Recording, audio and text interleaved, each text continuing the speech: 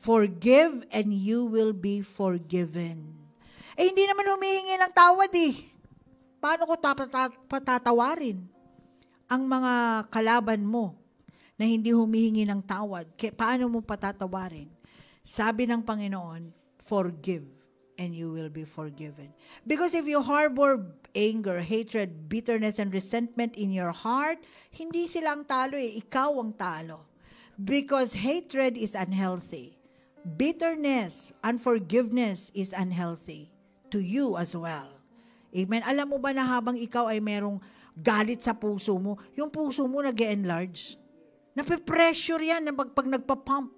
And so, naha-high blood ka. Tumataas yung pressure mo because emotionally, you are so stressed. Why? Because you are full of for- unforgiveness. You're full of hatred. You're full of bitterness. And so what? It manifests in your physicality. Hindi lamang yung spirito mo, hindi lamang yung emotions mo, kundi pati katawan mo nagsasuffer.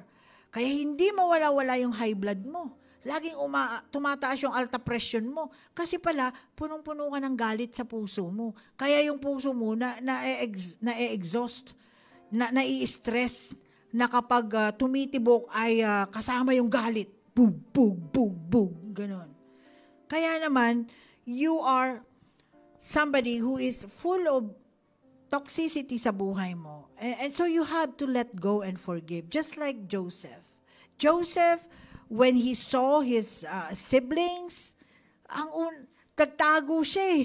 Nashock siya kasi dito mga kapatid niya. At siguro bumalik sa kanya lahat ng alaala, ng mga masasamang alaala. Pero nanaig yung pag-ibig niya. Sabi niya, na-miss ko to, hindi niya mayakap eh. Kaya ang ginawa niya, inutusan niya yung mga tauhan niya, lagyan niyo ng mga gold cup, yung mga ano na yan. Para, may dahilan ako para i-hold ang aking kapatid.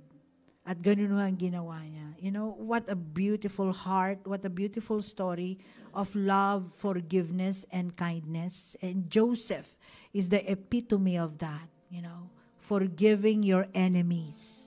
Lalo na kung yung enemies mo, igsuon naman. Or, or kabsat. Kapatid, anak, magulang. Mas madali dapat magpatawad kasi dugo mo yan. Kadugo mo yan. At kung hindi mo naman kadugo, just the same. We are called by God to forgive. Tayo po ay magpatawad. Amen? So, kung meron pong nakasakit sa atin, merong nananakit sa atin, merong patuloy na nananakit sa atin, in whatever way, tor- tinutorture tayo mentally, tinutorture tayo emotionally, kung tayo po ay ini-slander, kung tayo po ay uh, binibigyan ng mga kasinungalingan, pandarayang akusasyon, and we are being hurt by these people, you know, to harbor resentment and anger and bitterness is very easy. But the Lord wants you to choose to forgive. Forgive your enemies Not because they are worthy of your forgiveness, because God wants you to do it. Forgive. Amen? Tayo po ay magpatawad. Okay? So, kinakailangan na uh, ilagay natin sa context to, ha? Ilalagay po natin sa context. Una, may mga taong may mga taong hindi umaamin, 'di ba? Sa pagkakasala nila. Patatawarin ko pa rin ba 'yun? Patatawarin ko pa rin ba 'yun? Hindi nga humihingi ng tawad eh. Hindi naman umaamin. Palagay nyo. Amen. Yung puso po natin ang referee dyan. You know? Basang sabi ng Lord, forgive. Forgive. Hindi para sa kanila, para sa'yo.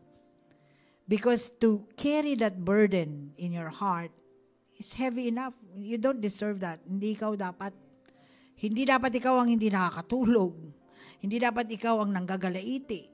Hindi dapat ganun. Amen? So, magpatawad po tayo. Patawarin po natin si nanay, si tatay, si anak, si kapatid, si kapitbahay, sino man na dapat patawarin sa buhay natin. Let us release and forgive. Amen? Let us surrender to God. Maybe you say, that is so difficult to do. Hindi madali yan. Hindi naman po talaga madali. Pero, sinasabi ng Panginoon, magpatawad ka pa rin. Amen? Sapagkat ang biyaya niya ay sapat.